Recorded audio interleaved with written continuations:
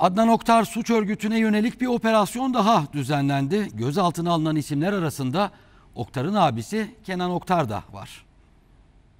Bir şey söyleyecek misiniz daha? Araya girme. cesur bir şekilde Adnan Hocam bunlara karşı PKK'ya karşı mukabele etmiştir.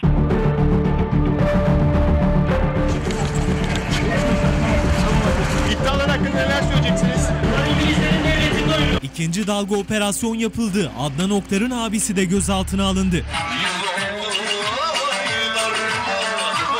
Adnan Oktar suç örgütüne yönelik soruşturma kapsamında ikinci dalga operasyon için harekete geçildi. 11 ilde düğmeye basıldı. 33 şüpheli hakkında gözaltı kararı verildi. Zanlılardan 14'ü yakalandı. Gözaltına alınanlar arasında Adnan Oktar'ın ağabeyi Kenan Oktar da vardı. Ben sizi ikaz ettim. Kedicik demeyin. Onlar yüksek ahlaklı hanım kardeşlerimiz. Milyar tane evladım olsa milyarında ve kendi canımı da onların yoluna feda ederim. Oktar'ın tutuklanmasının ardından emniyetin önünde bu sözleri söyleyen Nursel Tekin de gözaltına alınan isimler arasında yer aldı. Tekin'in genç kızları kandırarak örgüte kazandırdığı iddia edilmişti. Onlarla olmaktan gurur duyuyorum. Kandilli'deki yıkılan villada soruşturmanın merkezi oldu. Emniyet birimleri günlerce 3 dönüm üzerine dağılmış İstanbul Boğazı manzaralı yerleşkede arama yaptı. Aramada silah ve tarihi eserler bulundu. 3 dönümlük alanda 25 adet yapı vardı. Her biri örümcek ağ gibi birbirine bağlıydı.